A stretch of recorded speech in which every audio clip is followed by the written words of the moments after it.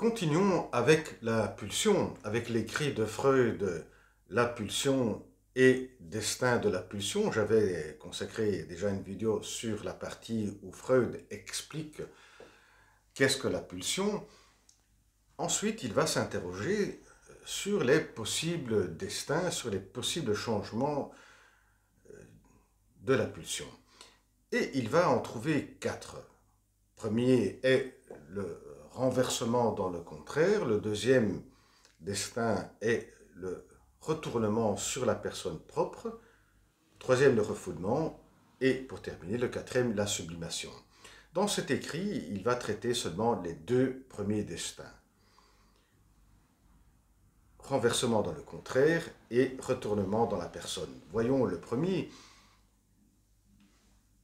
qui est le renversement dans le contraire. Eh bien, c'est euh, le changement de la pulsion en active et passive.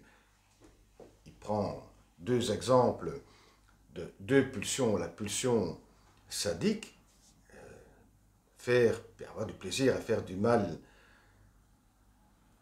qui est la, euh, la pulsion active qui se renverse dans le contraire en position masochiste. J'ai du plaisir à subir une souffrance.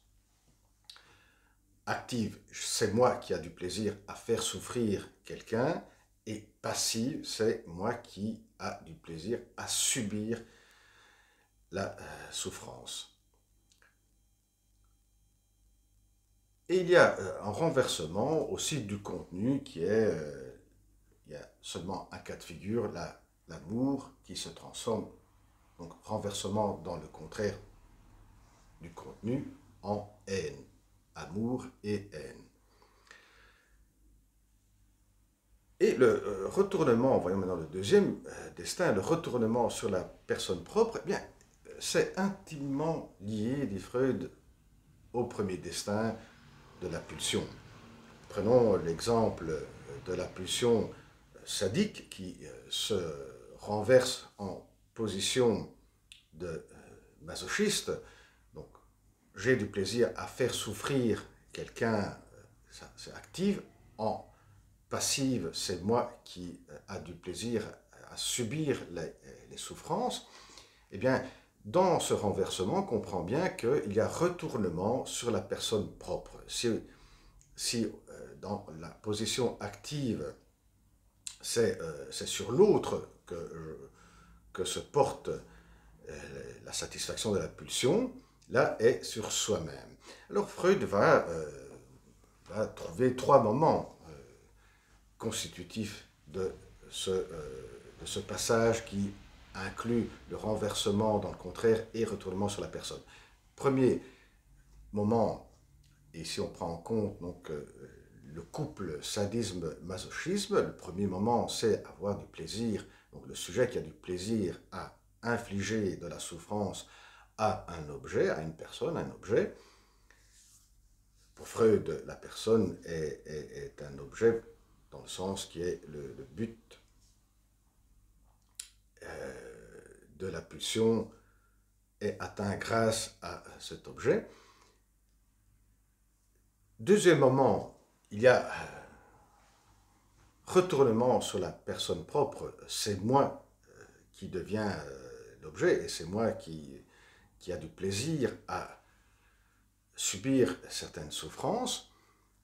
Et là, la pulsion passe de active à passive. Il y a euh, renversement dans le contraire de la pulsion, de passive à active. Troisième moment, eh bien, la personne doit trouver autre personne qui va pouvoir lui infliger une souffrance.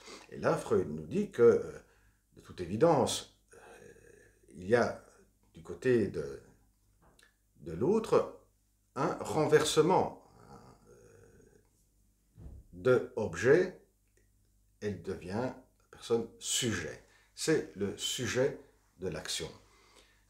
Donc, moi, qui au départ était le sujet, à la fin, je deviens le l'objet et l'autre devient le sujet qui va m'infliger une certaine souffrance. Cela vaut également pour l'autre pulsion qui est la pulsion de, de, regarder, le plaisir à regarder, et le renversement dans le contraire est le plaisir à se montrer, le plaisir à être regardé. Voyeurisme et exhibitionnisme. Et on retrouve les, trois moments. Le premier, le plaisir de euh, regarder une partie du corps, le corps d'une personne. Donc la pulsion active de regarder. Deuxième moment, euh, il y a retournement sur la personne propre. C'est moi qui a du plaisir à être regardé, j'ai du plaisir à me montrer. Et là, il y a renversement dans le contraire de la pulsion. La pulsion de active devient passive. Et troisième moment, ben, on va choisir une personne qui va nous regarder. Et donc, au départ, la personne, l'objet, la personne est l'objet. À la fin, euh, l'objet se transforme en sujet. C'est cette personne, le sujet qui regarde moi, qui devient un objet. C'est moi-même qui devient un objet. Mais ce qu'il y a dans le cas euh, de la pulsion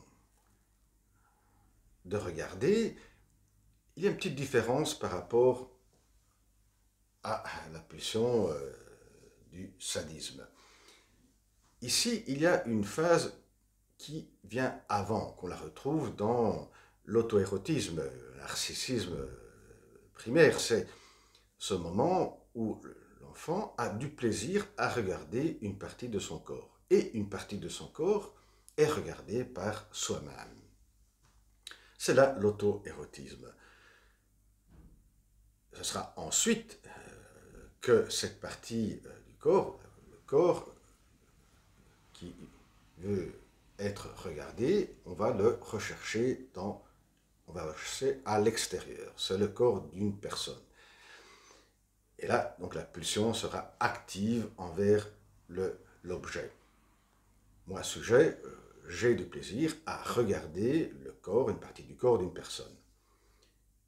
Et ensuite, il y a euh, l'autre moment qui est le retournement sur moi-même. C'est moi qui veux être, c'est moi qui a du plaisir à être regardé par, euh, par l'autre.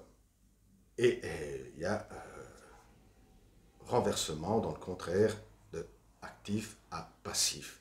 Et L'autre, le dernier moment, eh bien, c'est on va chercher une personne qui va euh, nous regarder. Et donc, si au départ, la personne est l'objet, là, elle devient le sujet et c'est moi qui est l'objet. Si l'on veut, la, partie, le premier moment qui se situe dans cette phase d'auto-érotisme peut être raffiguré avec le mythe de Narcisse.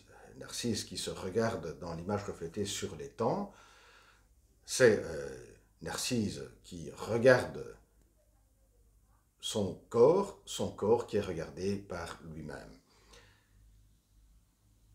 En revanche, ce qui se passe d'habitude pour une personne qui aime bien euh, se, euh, se, montrer, qui a du plaisir à se montrer, donc dans une position d'exhibitionniste, là, c'est plutôt le se regarder dans un miroir, avoir une certaine admiration dans, se voir, parce que on sait, on aura du plaisir à être regardé parce qu'on se sent euh, un beau corps, on se sent d'être beau, on se sent euh, d'être attirant.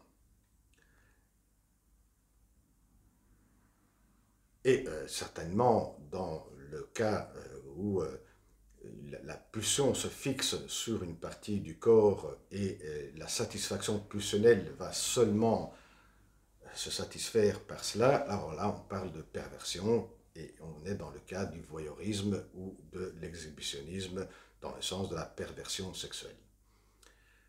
Bien voilà, prochaine vidéo, au revoir.